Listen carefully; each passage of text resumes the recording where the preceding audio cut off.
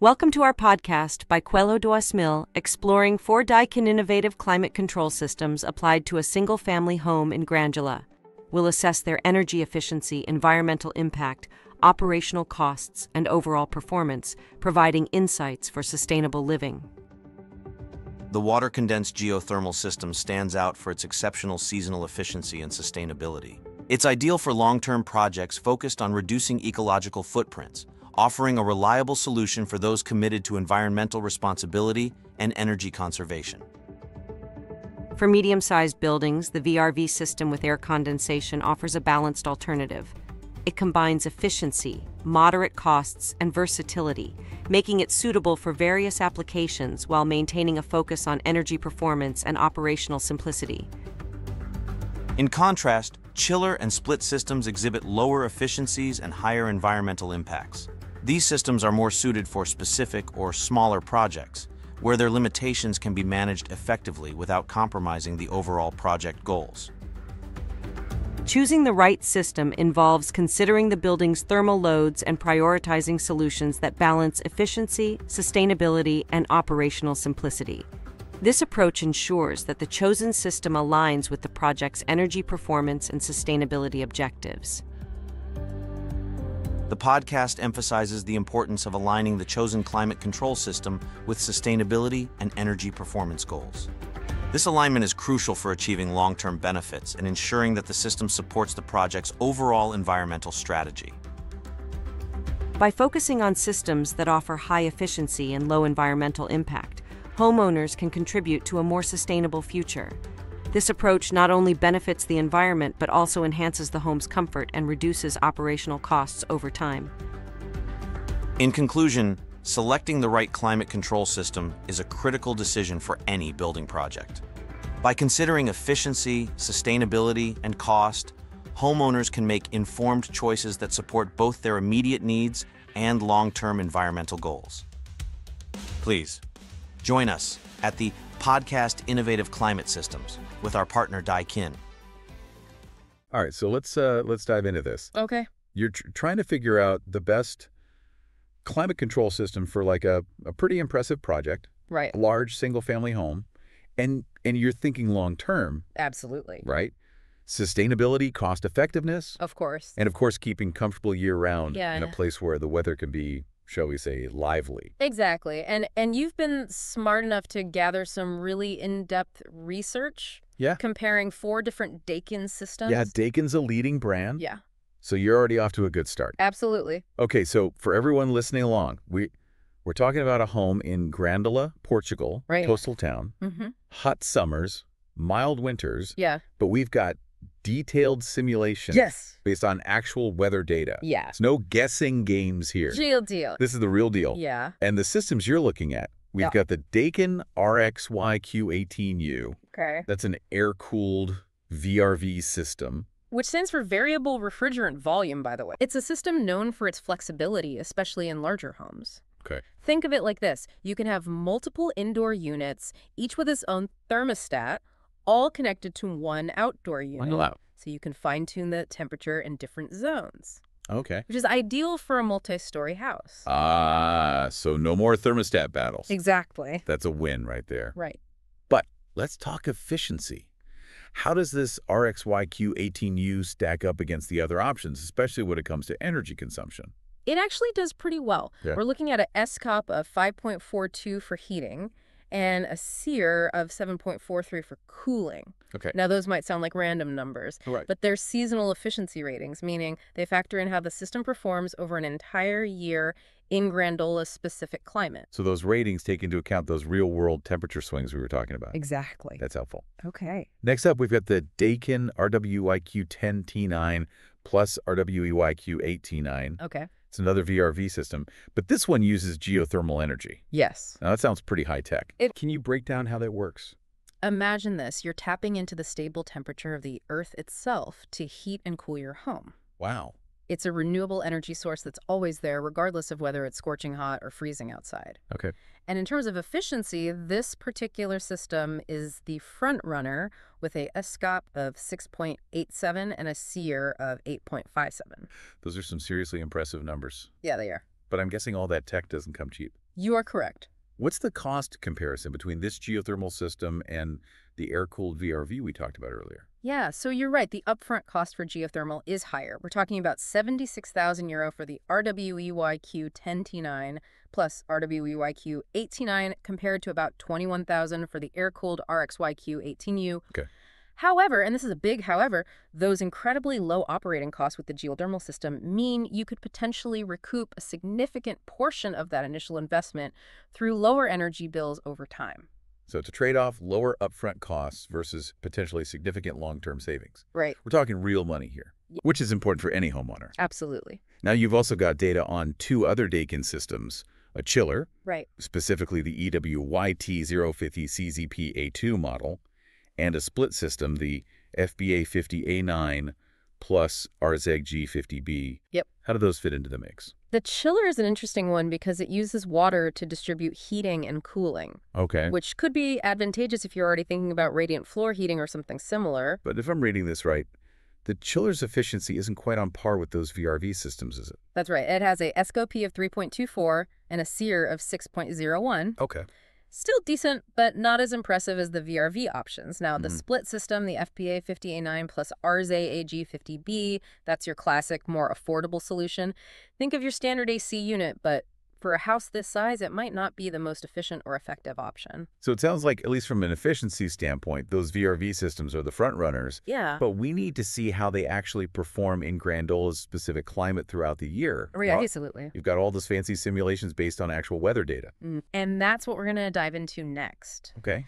Those simulations are going to give us a much more granular understanding of how each system handles those real-world temperature swings in Grândola. All right, let's do it. Okay.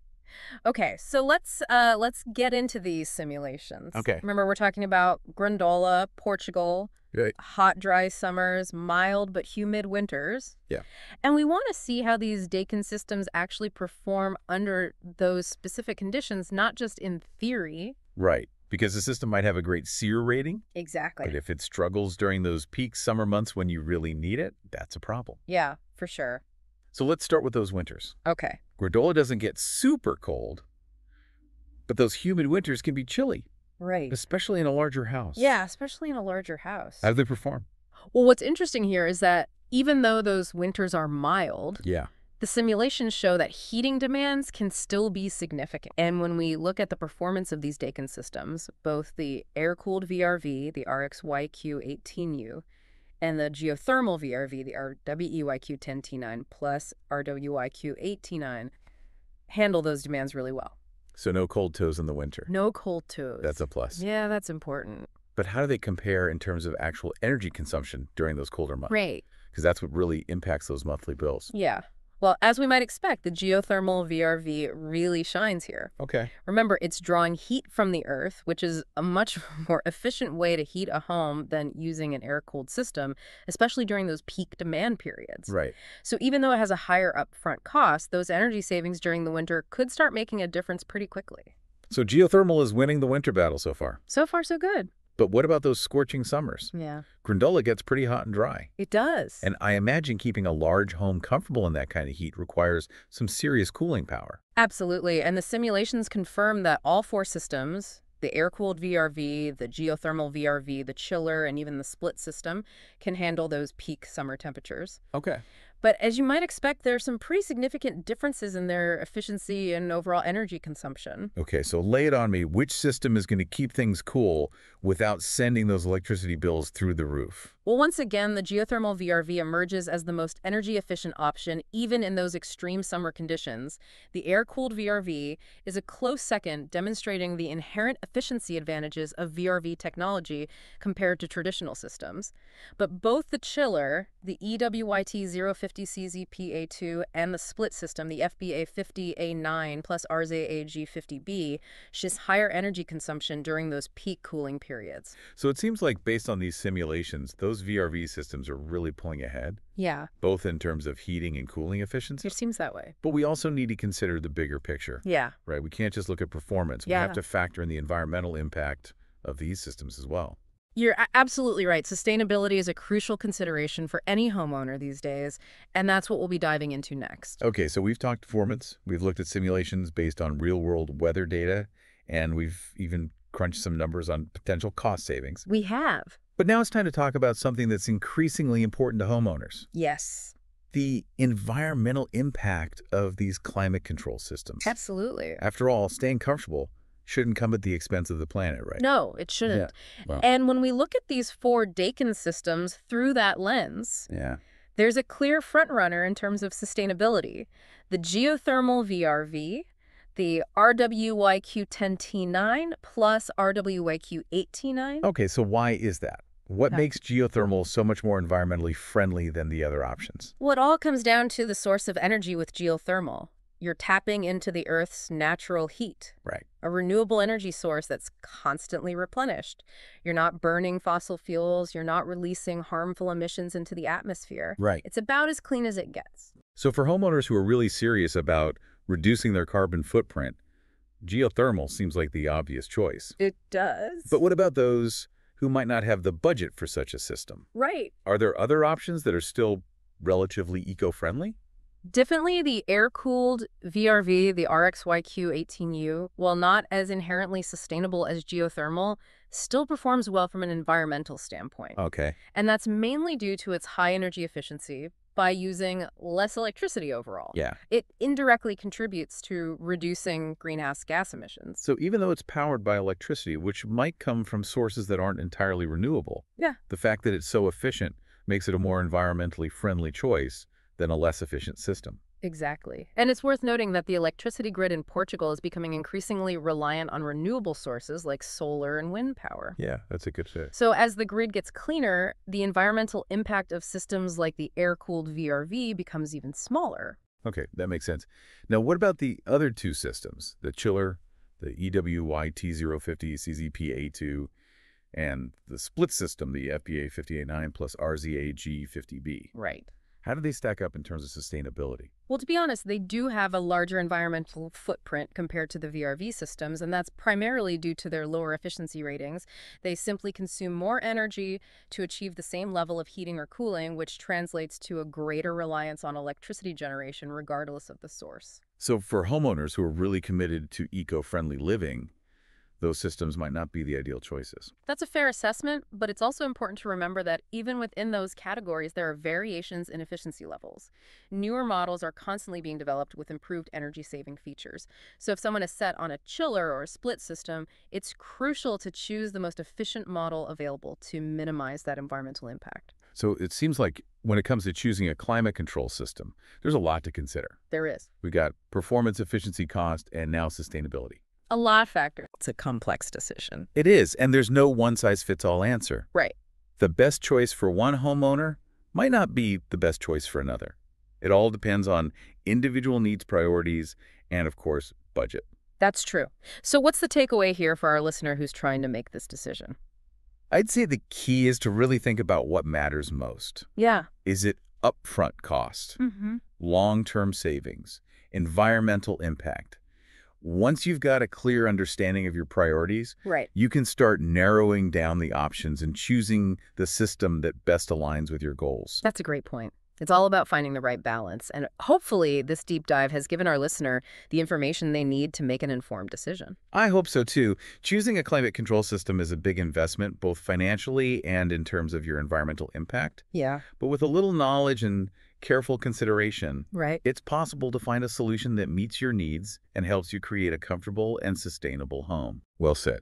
And remember, listeners, if you've got any further questions or need more personalized advice, there are plenty of resources available. You can consult with HVAC experts in your area, do some more research online, or even reach out to manufacturers like Dakin for detailed information on their products. The important thing is to do your homework and make a choice that you feel confident about. Absolutely. Knowledge is power. And when it comes to creating a home that's both comfortable and sustainable, the more you know, the better equipped you'll be to make the right decisions. Couldn't agree more.